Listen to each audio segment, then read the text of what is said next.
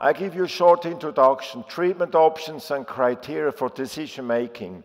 Then, of course, we're going to talk about the three potential treatments in the posterior maxilla. When to use short implants, when to do a uh, window osteotome technique simultaneously, when to do it staged. Then we talk about healing periods, long-term results of implants, and conclusions.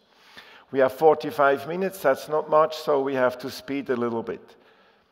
Let me start with an introduction. We have a lot of positive aspects in the field of implant dentistry.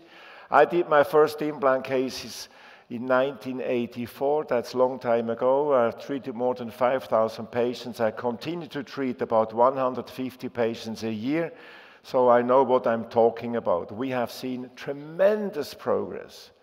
And the positive aspect is that we are in a phase of routine we treat primarily partially edentulous patients, that's about 95%, many baby boomer.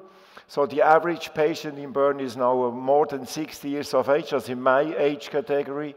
And about two-thirds of the implants are placed in the posterior uh, jaws and one-third in the anterior region where aesthetic, we have a high aesthetic demand.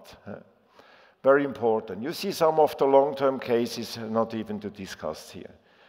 The other one is that the implant therapy is highly predictable, but you have to follow certain guidelines to achieve that. That includes, of course, that you should only use well-documented implants and biomaterials, use proven surgical and prosthetic protocols, as provided, for example, by the ITI, and also very important was discussed in the discussion period.